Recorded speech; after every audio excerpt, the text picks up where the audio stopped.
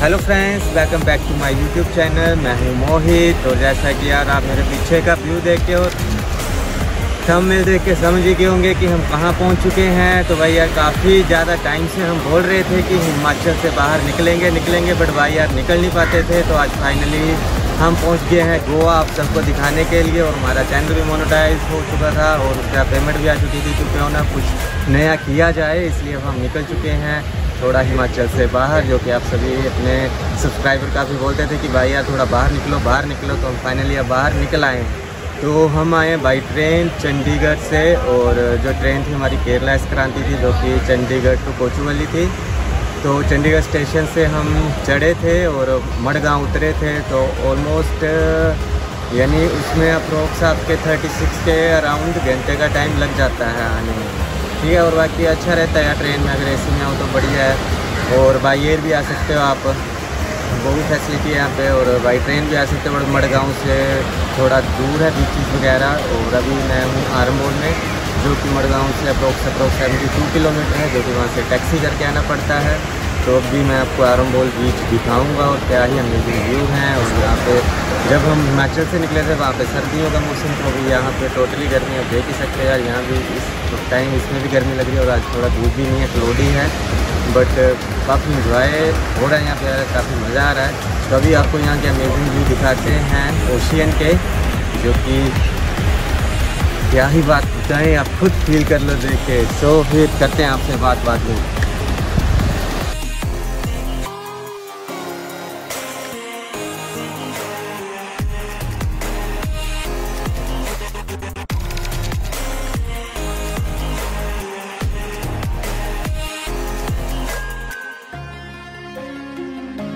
सो so friends ये है आरम्बोल की मार्केट जो कि बीस से अप्रोक्स आपके साथ में ही है और जैसे आप बस स्टैंड से आओगे, बस स्टॉप यहाँ पे नॉर्मली है, कोई बस यानी यहाँ पे बसेस वगैरह खड़ी नहीं रहती है, चलती हुई रुकती हैं। तो वहाँ से अप्रोक्स आपका दो से तीन किलोमीटर दूर रहता है बट बीच काफ़ी लंबा है, काफ़ी ज़्यादा उसको एंट्री पॉइंट है एग्ज़िट पॉइंट है।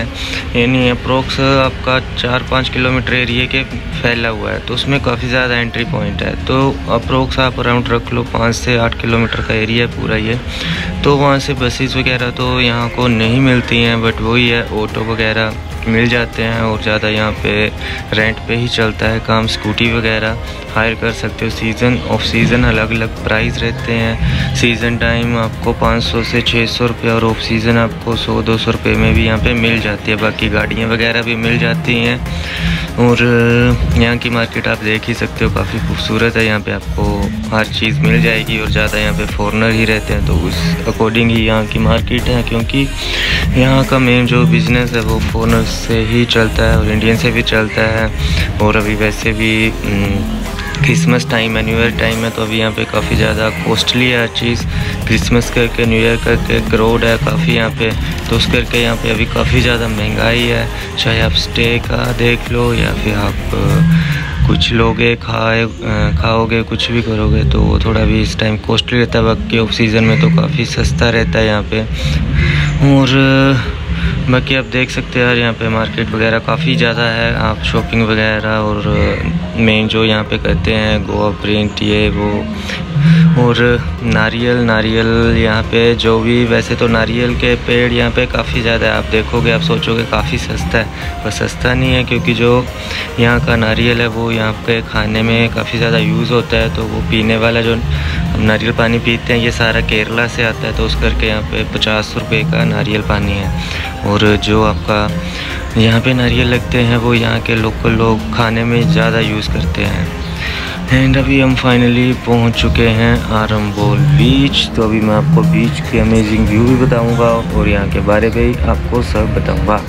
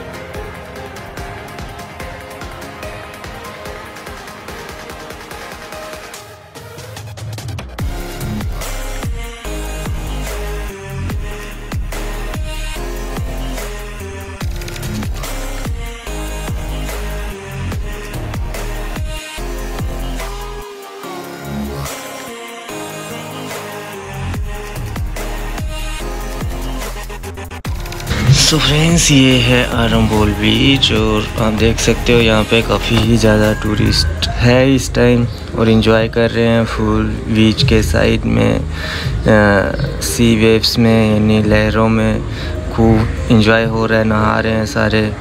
इंजॉय फील कर रहे हैं और यहाँ पे काफ़ी बोटिंग वगैरह भी रहती है। आप बोटिंग भी कर सकते हो, उसका अराउंड एक घंटे का पाँच सौ रुपया रहता है। और बाकी भी यहाँ पे काफ़ी ज़्यादा एक्टिविटी रहती है इवनिंग टाइम भी काफ़ी एक्टिविटीज़ रहती हैं। और खाने वगैरह को भी यहाँ पे काफ़ी कुछ होता है और बीच के साइड में काफ़ी ज़्यादा रेस्टोरेंट वगैरह है, बाहर को बैठने को भी है, वहाँ पे आप बैठ भी सकते हो, कुछ खा सकते हो। हर चीज़ यहाँ पे मिल जाती है ईज़िली और आप देख सकते हैं यहाँ पे यानी फुल डे क्राउड ही रहता है अभी सीज़न टाइम और काफ़ी ज़्यादा यहाँ पे आपको अभी टूरिस्ट देखने को मिलेगा।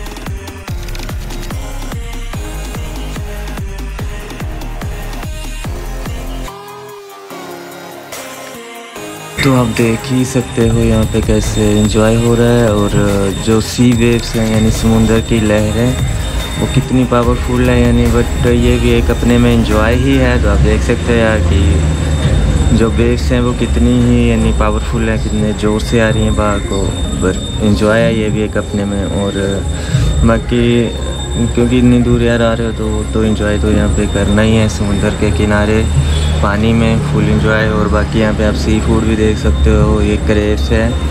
तो यहाँ पे काफ़ी ज़्यादा है, समुंदर किनारे आपको जो दिखने को मिलेगा और ये स्टार फ़िश है स्टार फ़िश भी है यहाँ पे, और बाकी जो सिपियाँ वगैरह रहती हैं वैसा भी कुछ यहाँ पे, यानी काफ़ी ज़्यादा है, सी के साइड साइड में बीचेस में, आपको ऐसा भी कुछ यहाँ पे देखने को मिलेगा।